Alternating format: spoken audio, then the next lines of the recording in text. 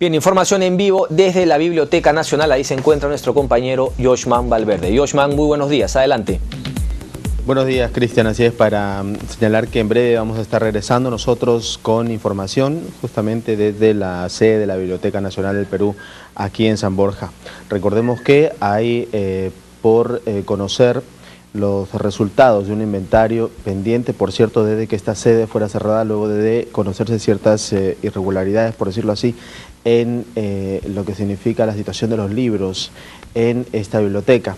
Quien va justamente a presidir o encabezar esta conferencia de prensa es Ramón Mujica, el director nacional de la biblioteca, y va a estar acompañado de otros, eh, también otras personas, representantes tanto de la Universidad Western Ontario de Canadá, así como de IBM y la Marina de Guerra del Perú. Así que vamos a estar pendientes para conocer entonces, Cristian, cuáles van a ser los resultados o cuáles son ya los resultados de este inventario, qué va a pasar aquí, si es que se reabre o no esta sede, lo estaremos conociendo entonces eh, y sobre todo, qué pasó qué es lo que ocurrió exactamente aquí en este lugar. Vamos a volver en cualquier momento, Cristian. Excelente, Joshman. Volveremos contigo entonces más adelante. Ojalá que sea eh, una buena noticia en todo caso. Vamos a esperar lo que nos dice entonces el director de la Biblioteca Nacional, Ramón Mujica. Con eso volvemos más adelante con Joshman, quien se va a quedar ahí en la Biblioteca Nacional. Vamos a una pausa, regresamos. Nosotros volvemos a la Biblioteca Nacional, ahí se encuentra Joshman Valverde. Joshman, cuéntanos, ¿qué novedades? Cristian, buenos días conferencia de prensa del director de la Biblioteca Nacional del Perú y representantes de otras instituciones que están colaborando con el inventario que se realiza aquí en la sede de San Borja para conocer la situación de los libros y si existen o no eh, pérdidas. Por lo pronto, Ramón Mujica ha informado que en el inventario al archivo Cáceres, uno de estos archivos Cáceres eh, ya se ha concluido, se ha hallado 16.119 documentos, eh, que se ha contratado más personal para la realización del inventario, también informado, pero lo que ha asegurado es que en lo que eh, va justamente de estos trabajos que se vienen realizando ya en otras áreas, las primeras informaciones ya indican de libros perdidos. En otro momento ha informado que el Ministerio de Cultura ha hecho una solicitud de 16 millones de soles de crédito suplementario para eh, distribuir de la siguiente manera, 8 millones para el gasto corriente, 4 millones y medio para el gasto de personal y 3 millones y medio para bienes y servicios. Esto va a permitir, según Ramón Mujica, mejorar la seguridad aquí en la biblioteca y sobre todo mejorar el sueldo de los trabajadores. Vamos a escuchar parte de esta conferencia de prensa. Va a hablar la representante de IBM, que empresa que está colaborando con eh, la, eh, el préstamo de 80 computadoras para realizar los trabajos de eh, el inventario. Escuchemos. Como IBM nos hemos sumado no solo con eh, la colaboración de las 80 máquinas, sino estamos en proceso de eh, firmar un convenio para poder apoyarlos con una consultoría de los procesos que se tiene actualmente para evitar que, cualquiera de estos percances vuelva a ocurrir y poder brindar nuestro apoyo, nuestro granito de arena en que esto se solucione. Gracias. Muchísimas gracias. Silvana, ¿podría contar un poco cómo va el proceso de inventario?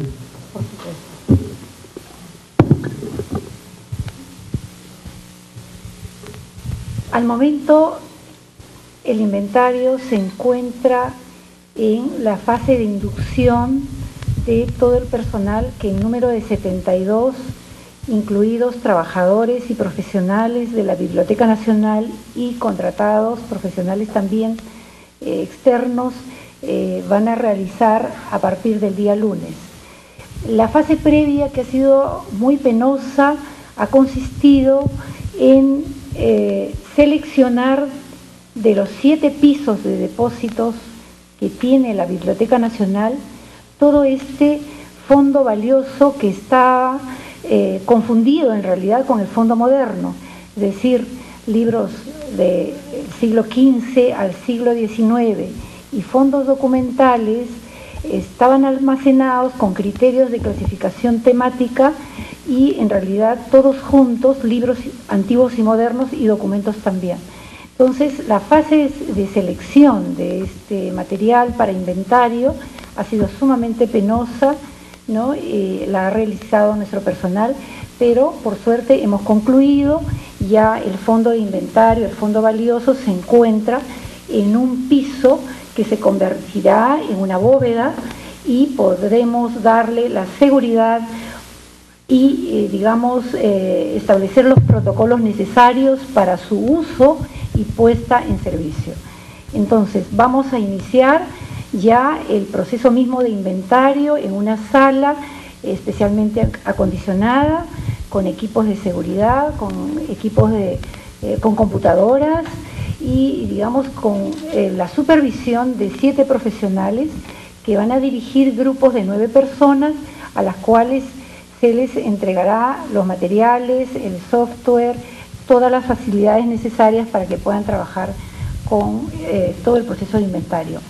Eh, finalmente, eh, debemos decirles que concluido el inventario, el producto es un catálogo en, en, digital, pero también en físico, para que toda la ciudadanía y todos ustedes puedan conocer qué patrimonio estamos defendiendo y rescatando.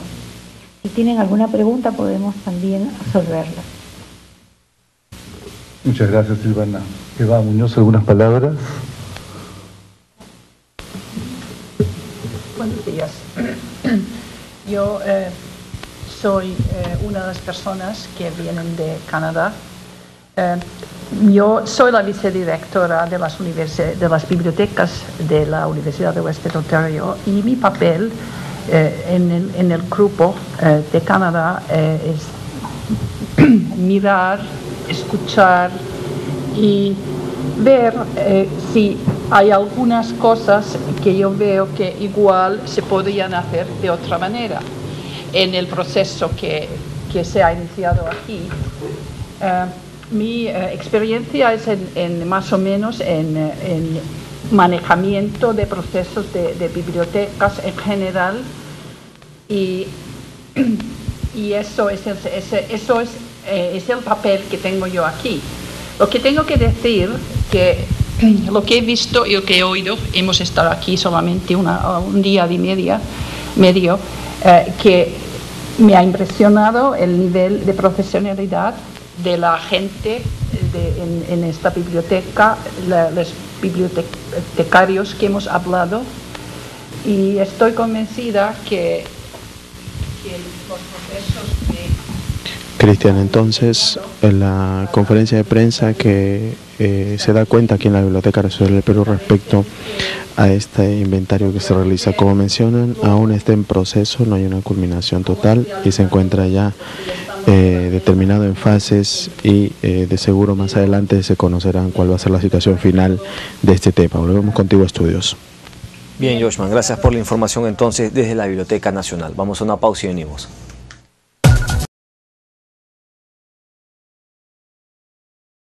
El inventario que actualmente se realiza en la Biblioteca Nacional del Perú se concluirá dentro de tres meses. Así lo informó su directora técnica, Silvana Salazar, quien junto al titular de la referida institución, Ramón Mujica, presentaron a los representantes de las entidades que colaborarán con esa tarea. Como se recuerda, la Biblioteca Nacional sede San Borja se encuentra cerrada al público luego de hallarse una serie de irregularidades en las áreas encargadas de la custodia de fondos antiguos.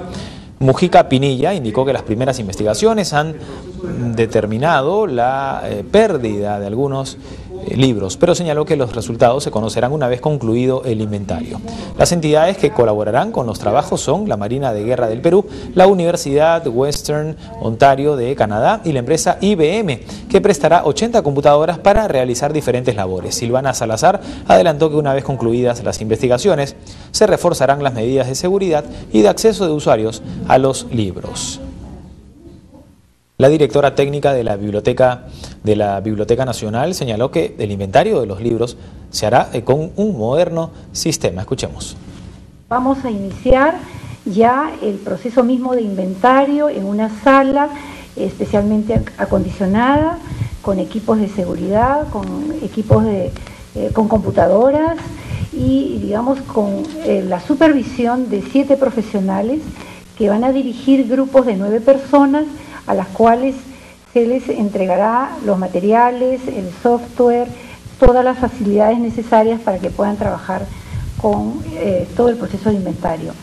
Eh, finalmente, debemos decirles que concluido el inventario, el producto es un catálogo en, eh, digital, pero también en físico, para que toda la ciudadanía y todos ustedes puedan conocer qué patrimonio estamos defendiendo y rescatando.